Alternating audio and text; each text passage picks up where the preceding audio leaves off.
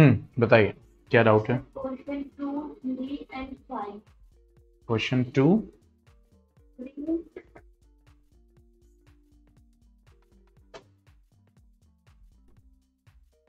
अच्छा ये तो एग्जाम्पलर है।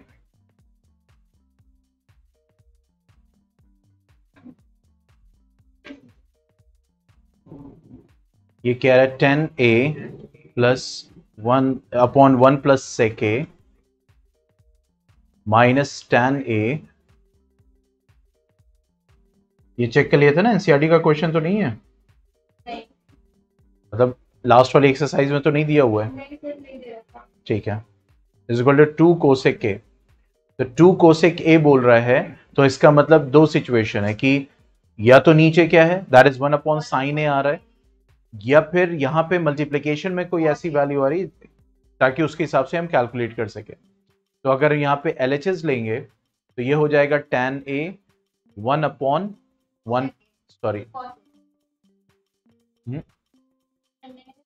Sec A हो गया minus tan A upon one minus sec A अब दो चीज़ें, या तो हम इसको सबको साइन कॉस में चेंज कर लें।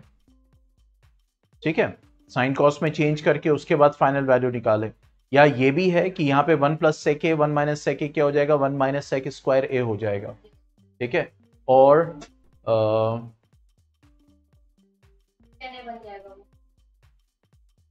that will give us what 1 plus sec square a is equal to tan square a and 1 plus cot square a is equal to cosec square a तो अगर tan square a बन भी जाएगा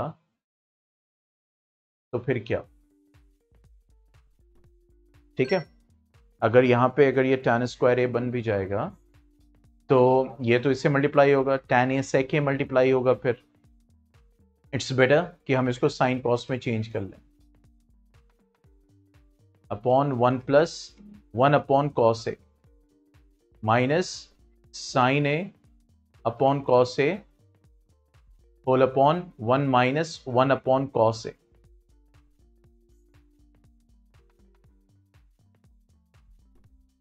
ठीक है? अब देखो, जब इसको सॉल्व करेंगे तो अभी ज़ाहिर सी बात है, यहाँ पे वन प्लस कॉस ए आएगा अपॉन कॉस ए और ये हो जाएगा sine A upon cos A और ये आएगा कॉस ए अच्छा एक चीज़ यहाँ पे आपको ध्यान देनी है, ये क्या है? कॉस ए प्लस वन आएगा। और ये आ जाएगा cos A minus one upon cos A और sine A upon cos A ठीक है? तो cos A cos A cancel अब हमारे पास क्या आ गया? Sine A upon cos A plus one minus sine A upon cos A minus one ठीक है? अब देखो। अब इसको जब लोगे तो क्या हो जाएगा? Cos square A minus one ठीक है? और ये हो जाएगा sine cos A minus one minus sine A cos A plus one hmm वही मल्टीप्लाई करेंगे ना कॉस ए प्लस वन है तो कॉस ए माइनस वन इससे मल्टीप्लाई होगा। कॉस ए माइनस वन है तो कॉस ए प्लस वन इससे मल्टीप्लाई होगा। ठीक है? अब यहाँ पे क्या है? अब देखो, ये दोनों है, इसको देखो। ठीक है? अब इसमें से साइन ये साइन ए होगा। साइन ए कॉमन ले लोगे तो क्या बचेगा?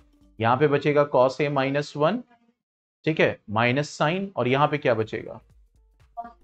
Yes cos A plus one bracket में रहेगा, ठीक है? और यहाँ पे क्या आ जाएगा? Sine square theta plus cos square theta क्या होता है? Sine square theta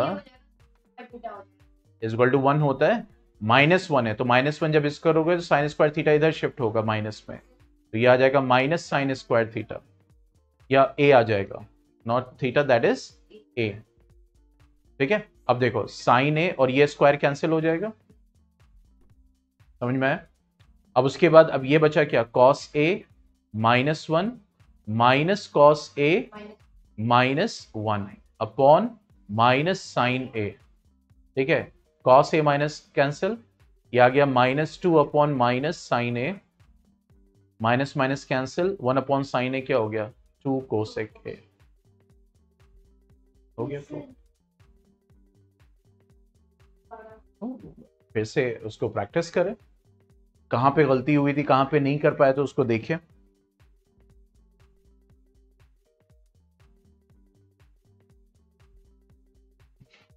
इसलिए मैंने कहा कहीं पे अगर कुछ नहीं समझ में आया तो साइन है कॉस में चेंज साइन मतलब साइन कॉस में चेंज कर दें उसको।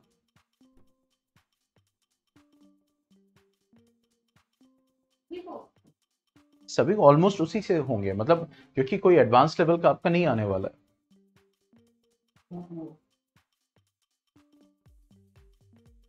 देखिए जो एनसीईआरटी में स्ट्रैटेजीज हैं उसी पे बेस्ड क्वेश्चंस आएँगे।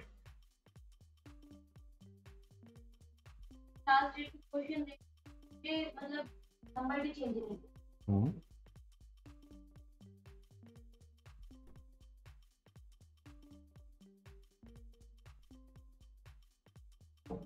किए। हम्म,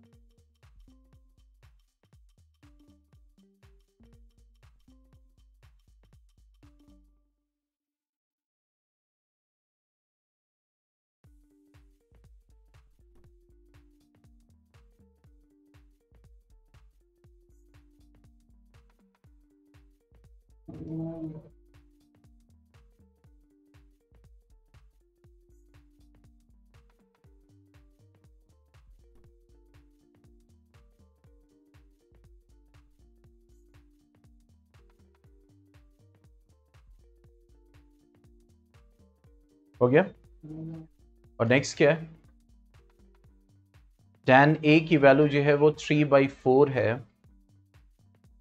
देन साइन ए अच्छा प्रूफ करना है। Sine A cos A is equal to twelve by twenty five कैसे? अब यहाँ पे इन्होंने क्वेश्चन फॉर्म चेंज किया। ये वही है। tan a दिया हुआ है थ्री बाई फोर तो पहले tan a से ये थ्री बाई फोर है ठीक है? तो ऑब्वियसली नेक्स्ट क्या आ जाएगा? अब नहीं लेकिन पहले आपको ये देखना पड़ेगा tan है तो इसका मतलब क्या हो गया? दैट इज़ एक तो सबसे पहले ए बोल रहा है तो ए यहाँ पे आएगा जो हम एंगल सेलेक्ट कर रहे हैं ठीक है? तो अब ये होगा पी बाई बी तो परपेंडिकुलर मतलब ये हो गया थ्री के बेस हो गया फोर के तो ऑब्वियसली पाइथागोरस थ्योरम से ये फाइव के आ जाएगा ठीक है? अब यहाँ पे क्या चाहिए? साइन ए तो देखो साइन ए क्या हो जाएगा? तो यहाँ पे ये नहीं बोल रहे, देखो एनसीआरटी में क्या बोल रहा था कि ये दिया हुआ है, बाकी रेशियो निकालो। अब यहाँ पे आपको इनडायरेक्टली बोल रहा है कि ये प्रूफ करो। मतलब आपको ये अब समझ में आ गया कि साइन ए कॉस ए ही निकालना है।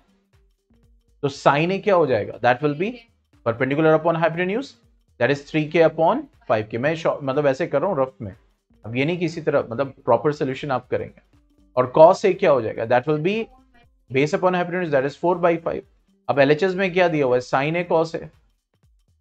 तो that is three by five into four by five हो गया twelve by five twelve by twenty five which is equal to R H S हो गया प्रूव सिंपल नहीं तो के तो लिखना था। बिना उसके कैसे? भाई थ्री बाई वैल्यू थोड़ी है। रेशियो दिया हुआ है ना?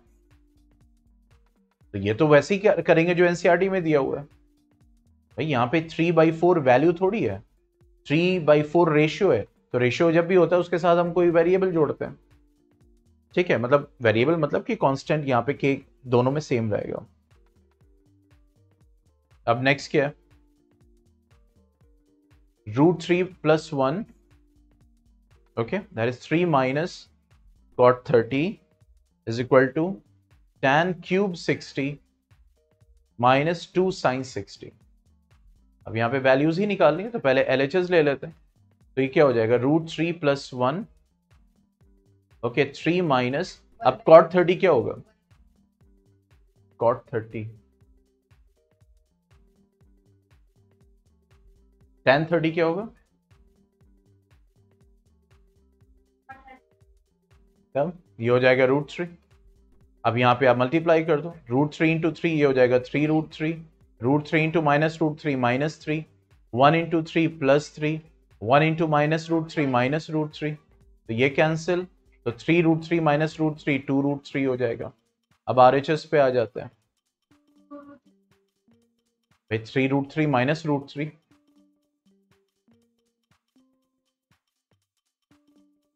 three A minus A कितना होगा? तो three root three minus root three कितना होगा? सिंपल अब यहाँ पे क्या हो गया? टेन सिक्सटी टेन सिक्सटी क्या होगा रूट थ्री का cube minus two into sine sixty sine sixty क्या होता है? जब वैल्यूज़ ही नहीं याद रहेंगी, तब तो गलत हो गई होगा। अब यहाँ रूट थ्री का क्यूब है। थ्री तीन बार मल्टीप्लाई हो रहा है। तो root three into root three into root three root three into root three three root three हो गया ये। और ये two two cancel, minus root three. आ गया टू रूट थ्री। प्रूफ हो गया। यहाँ पे वैल्यूज़ और कैलकुलेशन है, जिसकी वजह से आंसर नहीं आ रहा। हाँ तो इसीलिए प्रैक्टिस और ज़रूरत है। हम्म। और बताइए। हो गया?